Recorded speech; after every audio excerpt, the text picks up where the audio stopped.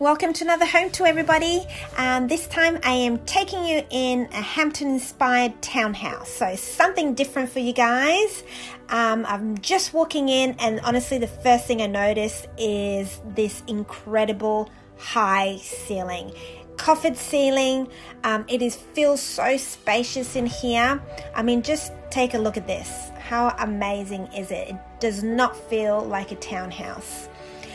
Just turning right here and the first thing I'm showing you is your gorgeous kitchen area. So classic white kitchen, feels very spacious as well. Um, I'm taking you just a sneak peek uh, into the laundry area. So very well done, really cute. It's got everything that you need. Um, this kitchen had fantastic um, stone bench tops uh, quite a large kitchen island as well.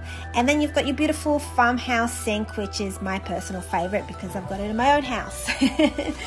um, so you've got beautiful subway tiles. And basically, it had really everything that you would want in a nice kitchen. On your right hand side, I am just going to walk into the uh, walk-in pantry how fabulous is this pantry? It's got your microwave, uh, your fridge, it's got a wine cooler, it's got basically um, everything that you need. Well stocked.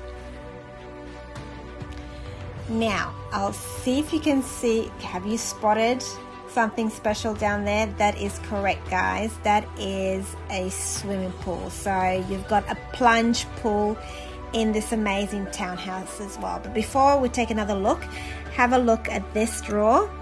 So basically what I loved, it had um, like a spice rack on either side um, of the cooktop, which is so handy.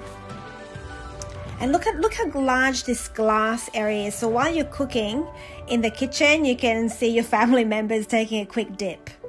Uh, lots of natural lighting in here as well, as you can see lots of windows. Again I just can't get over this ceiling. It's just beautiful. And have a look guys. Hope you enjoyed this one